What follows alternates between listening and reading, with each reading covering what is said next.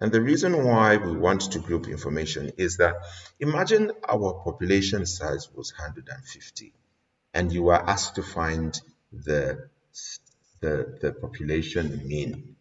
It would mean 150 points and you keep on adding divided by 150.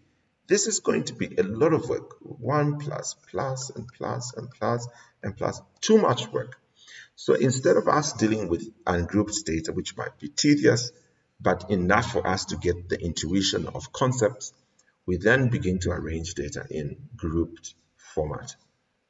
This way, it will be easier and quicker for us to deal with uh, statistics or parameters of interest. The first parameter of interest could be a population mean.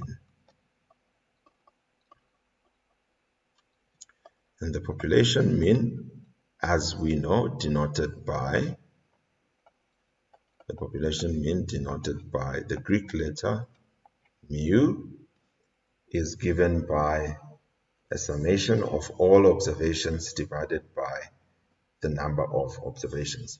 But now that we have data that is grouped, at this point we are going to imagine we do not know any of the raw data. All we know is this grouped information.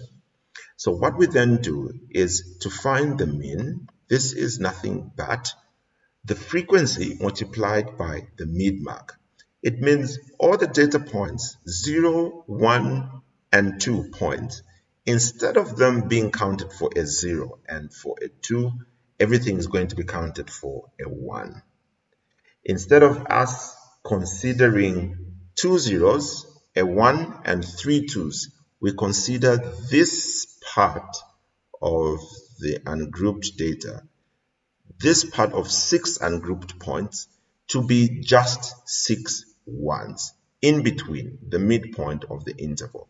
So this is the reason why our mu now is going to be denoted n subscript 1 multiplied by x subscript 1.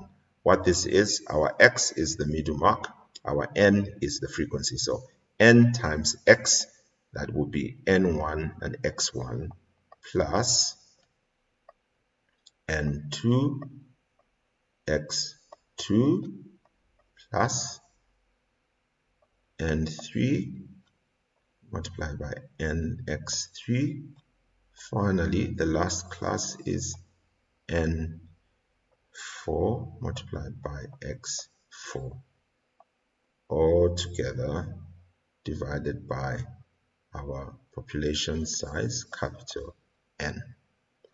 And this simply means what we have now is mu equal to n1 is the first frequency is 6 multiplied by the midpoint which is 1 plus second frequency is 6 multiplied by the midpoint which is uh, 4 plus the second frequency is 1 multiplied by the midpoint 7 plus the second frequency is 2 multiplied by the midpoint which is 10 so we have got all these four terms in this equation. All together we're going to divide this by our population size n which is equal to 15 Therefore, mu is equal to 6 plus 24 plus 7 plus 20 altogether divided by 15.